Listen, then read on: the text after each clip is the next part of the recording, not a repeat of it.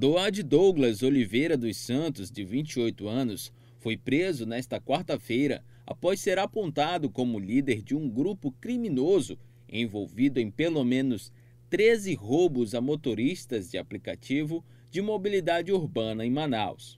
Conforme o delegado Rodrigo Barreto, titular da delegacia especializada em roubos e furtos de veículos, o indivíduo já vinha sendo investigado pela prática criminosa desde 2021. Esse indivíduo que a gente investigou, que é o líder do grupo, que é o Doad, que foi cumprido a prisão temporária, ele já atua desde 2021 nessa mesma modalidade. E a gente cumpriu até o mandado do, do ano passado de outra delegacia que eu trouxe para cá e também representamos por novas prisões. Porque só esse ano eu já identifiquei quatro dos crimes. Ontem apareceu uma nova vítima dele também. Os motoristas foram também atrás, porque estavam revoltados, eles são vítimas todo o tempo.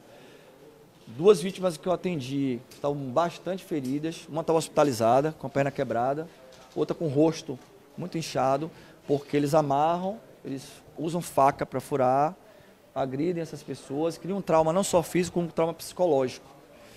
E eles usam o veículo para cometer outros roubos em, em vítimas que estão em pontos de ônibus, em estabelecimentos comerciais, e passam horas restringindo a liberdade dos motoristas. Por isso há o trauma. Eles pensam que vão morrer, eles abandonam os motoristas em ramais, em locais ermos, e no final a gente vê a crueldade e a forma de atuação. Doad e outros indivíduos, que também fazem parte do grupo criminoso, usavam perfis falsos nos aplicativos para solicitar corridas.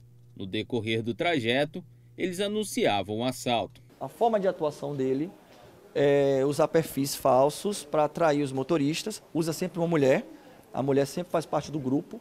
Quando a mulher entra no veículo, ou entra junto um outro passageiro que é o comparsa, ou todos entram no mesmo momento, rendem o motorista, e daí eles continuam não só subtraindo os pertences dos motoristas, como é, buscando é, o veículo, que ao final eles levam, e fazem em série outros roubos. Eu creio que com a prisão dele, outros, outras pessoas vão nos, nos, nos ver identificar como autor de crime. Ele foi preso temporariamente. A gente, a gente pretende que haja a conversão para a preventiva.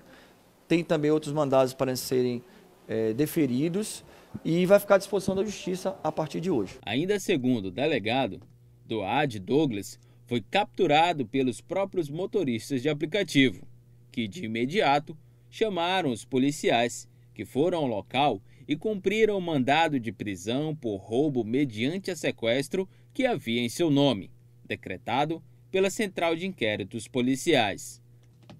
Agora, Doad Douglas Oliveira dos Santos permanece à disposição da Justiça.